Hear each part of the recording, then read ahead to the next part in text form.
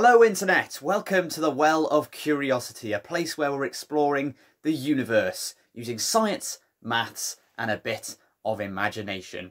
So recently I got a request to talk about the ozone layer, uh, but I thought whilst I'm at it I might as well cover the whole atmosphere. So here it is, my quick guide to Earth's atmosphere. Now, our atmosphere is incredibly important to us. It's that wonderful collection of gases that keeps us all alive, keeping us breathing, keeping us warm, protecting us from some of the more dangerous elements of outer space. There are many planets and moons of our solar system that will have an atmosphere, but they will all be different with different combinations of gases. Now here on the Earth, our own atmosphere is comprised of 78% nitrogen, 21% oxygen, and then the remaining 1% made of things like argon, carbon dioxide, neon, helium, hydrogen, and water vapour.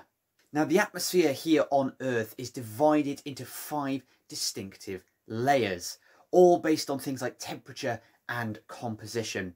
So what we're going to do is we'll start off near the bottom and then we'll work our way gradually up the sequence until we reach the edge of our atmosphere and the start of space.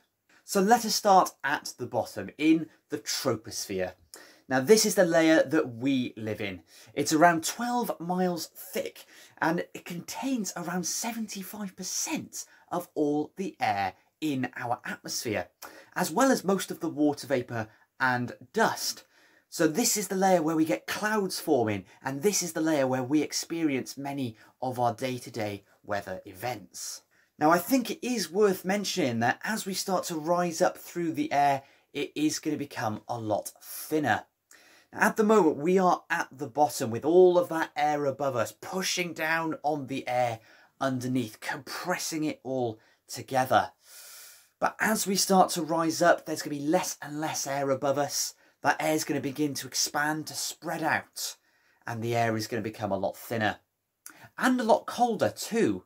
But if we keep on travelling, we will enter the second layer, the stratosphere, between 12 and 31 miles up. Now this is where we find much of the ozone in our atmosphere, that all-important ozone layer. Now this is our shield against high energy ultraviolet radiation that's trying to reach us from the sun. Now that ultraviolet radiation would do some serious damage both to us as human beings and to a lot of the wildlife here on the earth. But this is where ozone comes in handy because it does such a good job of absorbing that high energy, keeping it away from us. But we do have a bit of a problem. Over the years, we've released so many chemicals out into our environment, and there's a group of chemicals in particular known as CFCs, chlorofluorocarbons. And they've been released and they have caused significant damage to the ozone layer. Now the ozone is constantly whizzing around, breaking apart and then reforming again. The CFCs stop the ozone from reforming, so we're losing some of our protective shield. So much so that there's now actually almost a, a hole of sorts. Uh, well, not really a hole, but uh, an, an area where the ozone has become spread so thin that it's becoming very, very ineffective and it's allowing more of that dangerous radiation through. But there is some good news. We have significantly reduced the amount of CFCs that we're releasing, and the ozone layer appears to be on the mend. Scientists have been monitoring that hole in our ozone layer, and it looks like it's starting to shrink. In fact, last year, it was the smallest it has ever been since its discovery. Now, it is going to take quite a long time for it to fully recover, but if we do our bit, fully recover, it hopefully will. Even though it may not seem like much, you can help. The next time you need to buy a machine like a fridge or freezer, check what chemicals are used inside and you can help make a difference. Now, onto our third layer, the mesosphere.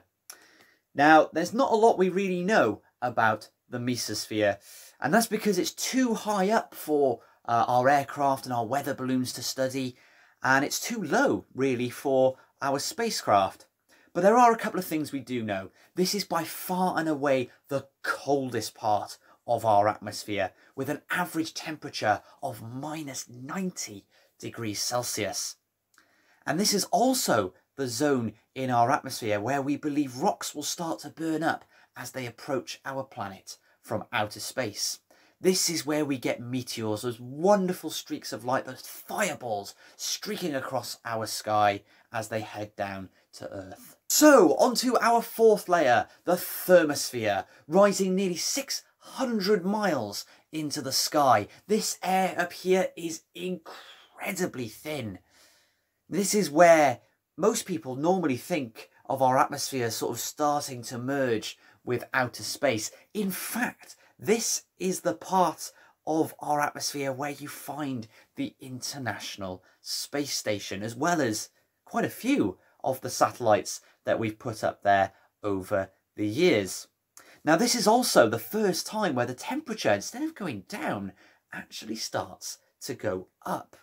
And that's because the particles up here in this part of the atmosphere, they're absorbing ultraviolet and X-rays coming in from space. So even though there are not many particles, they are incredibly, incredibly energetic. And now we have reached our final layer, the exosphere.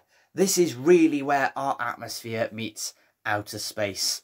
Now there is no sudden stop to our atmosphere, it just keeps gradually getting thinner and thinner and thinner.